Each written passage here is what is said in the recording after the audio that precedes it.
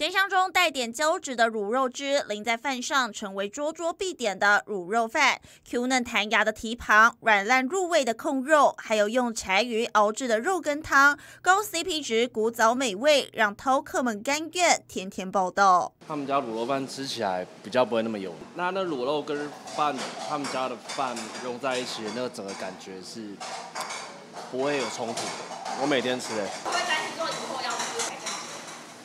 没关系，因为我觉得这是实至名归。今年美其林必比登推荐终于出炉，除了深藏在晴光商圈巷弄这家卤肉饭老店，今年首度入榜。公馆这家葱抓饼也凭借着特殊酱料和实在用料，虏获评审青睐，多次入榜。就算下雨，客人还是一个接着一个没断过。三十多年的街边摊，用好味道说话。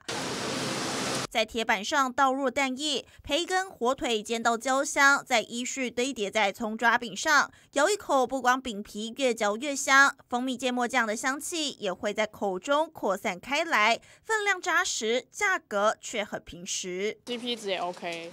对，就是他们家的用料料多嘛，基本上我几乎每一次经过都会有人在排队，而且都排蛮长。最推荐他们家的全餐。然后我觉得最特色的是，就是阿姨会帮你加蜂蜜芥末酱。他们家的辣椒是阿姨他们自己做的，对不对？我一个月也会来吃个四五次吧。那我给你用好的黑胡椒粒，这个呢就没有任何添加物，所以我这边基本上就是有问题的我都不弄。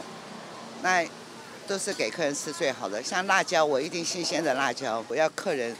吃的健康，一方面是不是能够提升路边摊的文化？不光雄鸡葱抓饼凭借真材实料证明平价小吃也能登上国际。阿成鹅肉一甲子餐饮鼎泰丰也是年年蝉联必比登，首次入榜的黄记卤肉饭新潮饭店面铺势必成为饕客朝圣新热点。有新闻，唐信胡崇恩台报道。